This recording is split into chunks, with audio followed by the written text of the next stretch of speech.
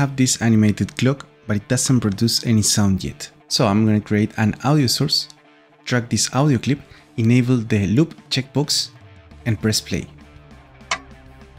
Now the audio is playing, but if you move the camera closer to the object or further away from it, the volume of the audio clip doesn't change.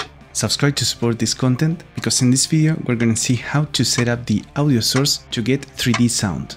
First of all, you need to know that you can hear audio in Unity because in the hierarchy you have a component called Audio Listener.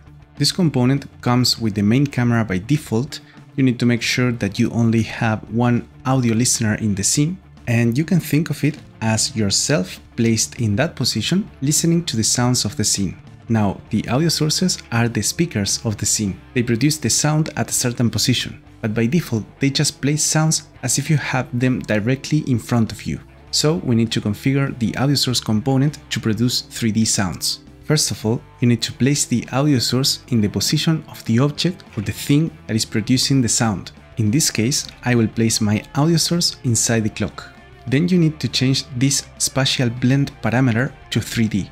Then open the 3D sound settings and you need to play with these parameters, mainly the minimum and maximum distance for the sound. 500 units is too much for this case, let's change it to 15 units. And this curve represents the volume of the audio source as a function of the distance from the audio listener. This vertical line indicates the distance from the audio listener. You can lock this inspector window and move the camera to see which volume level the audio source will have at a certain distance. You can also modify this curve as you wish. For example, let's lower these points a little bit, so beyond 15 units we won't listen to any audio.